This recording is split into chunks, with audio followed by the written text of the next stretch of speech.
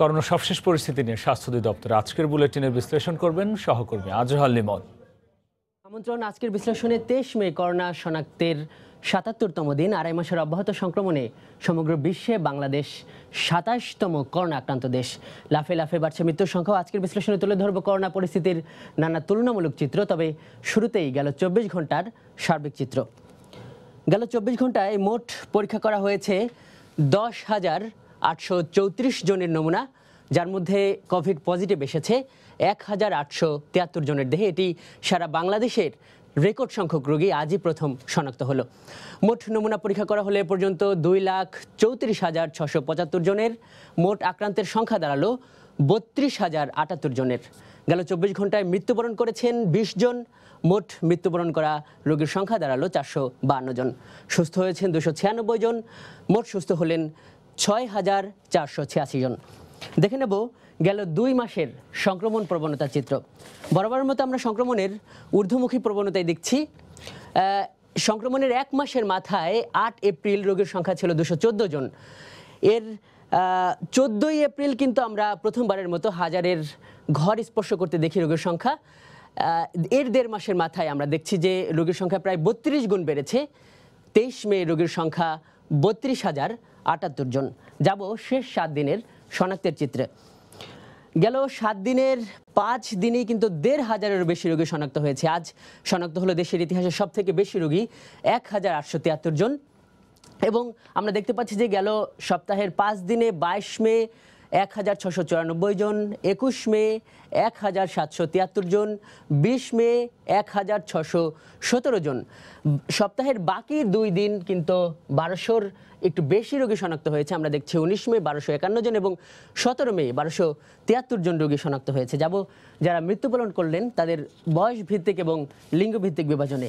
গেল চব্বিশ ঘন্টায় যে বিশ জন রোগী মৃত্যুবরণ করেছেন, তার মধ্যে ষোলো জন পুরুষ এবং চারজন কিন্তু নারী, আমরা দেখতে পাচ্ছি যে সব থেকে বেশি মৃত্যুবরণ করেছেন একান্ন থেকে ষাট বছর বয়স সীমার মধ্যে যারা রয়েছেন, তারা আটজন রোগী এই বয়স সীমার মধ্যে মৃত্যুবরণ করেছেন।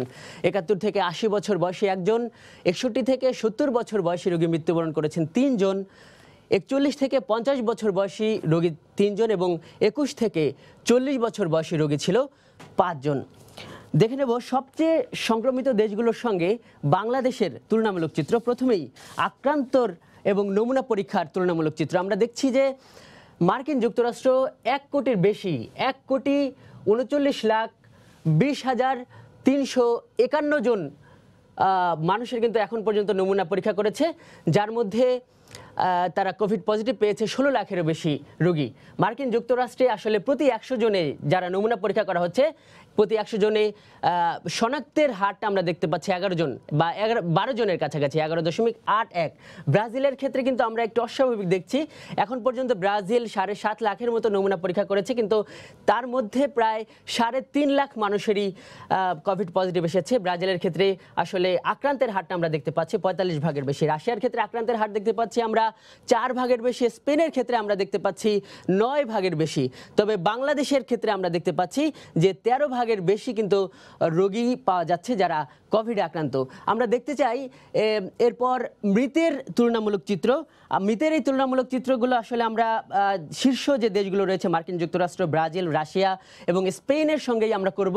আমরা দেখতে পাচ্ছি যে মার্কিন যুক্তরাষ্ট্রে ষোলো লাখ পঁয়তাল্লিশ হাজার তিনশো তিপ্পান্ন জন রোগী এখন পর্যন্ত শনাক্ত হয়েছে, যার মধ্যে প্রায় এক লাখ রোগী মৃত্যুবরণ করেছে। সাতানব্বই হাজার ছশো পঞ্চান্ন জন।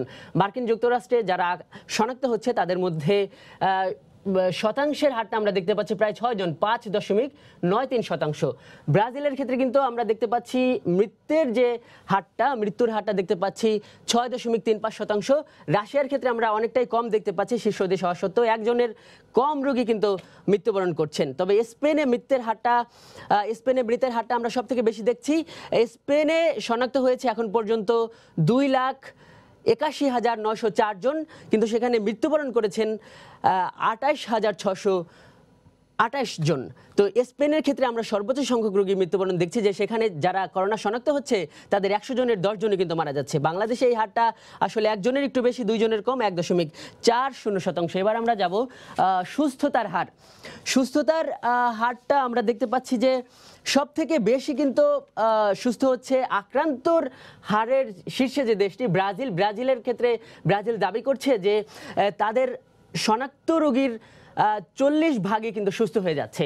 মার্কিন যুক্তরাষ্ট্র বলছে যে, শনাক্ত রোগীর চব্বিশ ভাগের বেশি রোগী সুস্থ হচ্ছে। রাশিয়ার ক্ষেত্রে তারা দাবি করছে যে, তারা তিন লাখ ছাব্বিশ হাজার চারশো আটচল্লিশ জন রোগী শনাক্ত করেছে, তার মধ্যে প্রায় এক লাখ রোগী সুস্থ হয়ে গেছে। এই হারটা আমরা দেখতে পাচ্ছি তিরিশ দশমিক পাঁচ সাত শতাংশ।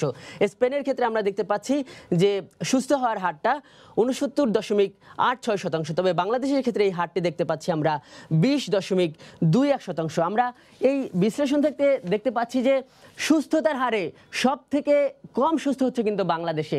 তবে আমরা দেখতে পাচ্ছি যে মৃতের যে হার, মৃতের হারের দিক থেকে কিন্তু অনেকটাই কম রোগী বাংলাদেশে মৃত্যুবরণ করছে এবং এটি কিন্তু অন্তত তিনটি দেশের চেয়ে কম রোগী কিন্তু বাংলাদেশে মৃত্যুবরণ করছে।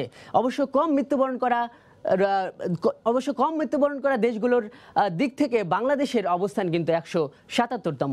এই ছিল আজকের বিশ্লেষণে। করোনা পরিস্থিতি নিয়ে স্বাস্থ্য অধিদপ্তরের আজকের বুলেটিনের বিশ্লেষণ করছিলেন রিপোর্টার আজহার লিমন